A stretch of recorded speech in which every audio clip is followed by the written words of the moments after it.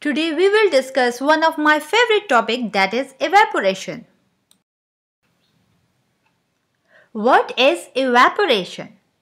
The spontaneous escape of the high energy molecules from the liquid surface into the vapor state is called evaporation. Or simply we can say that evaporation is a process of the change of the liquid to a gaseous state below its boiling point.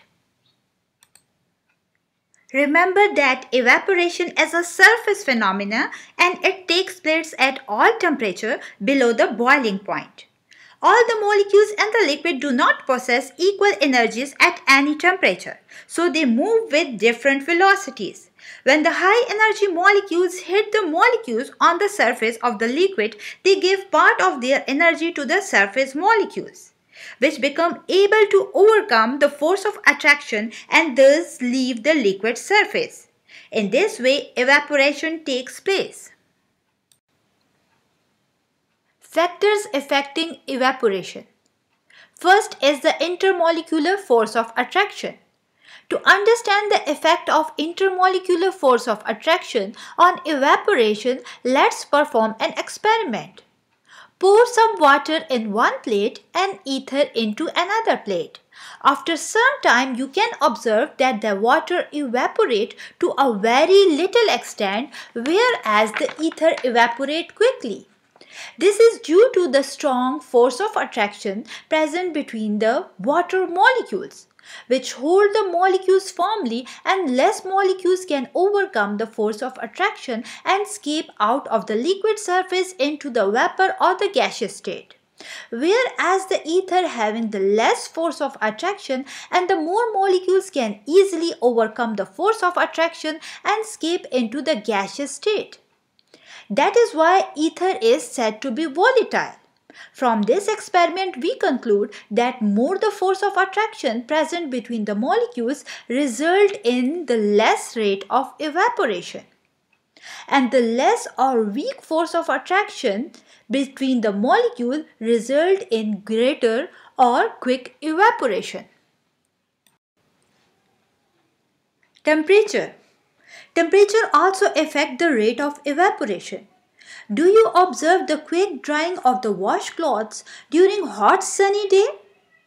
The reason is that heat increases the kinetic energy of the surface molecules of the clothes quickly and give chance to the greater number of the molecules to escape out into the gaseous state and hence increase the rate of evaporation. Whereas in the winter, temperature is comparatively less. So less molecules can gain the chance to increase the kinetic energy and escape out to the gaseous state. Therefore, the rate of evaporation is slow during winter.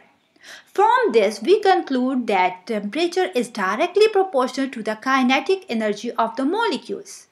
It means that with the increase of the temperature, the kinetic energy of the molecules increases which result in greater rate of evaporation.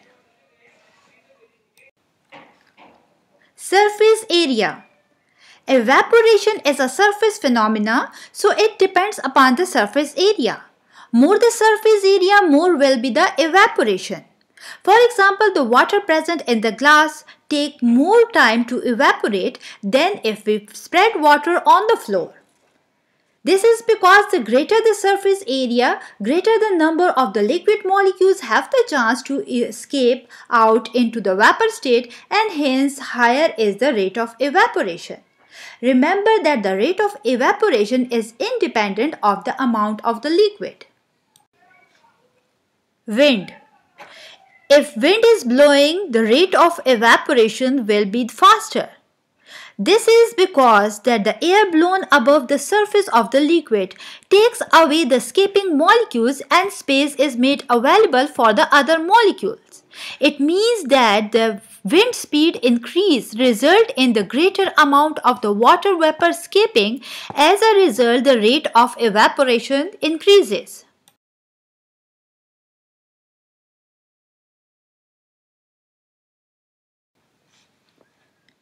Humidity.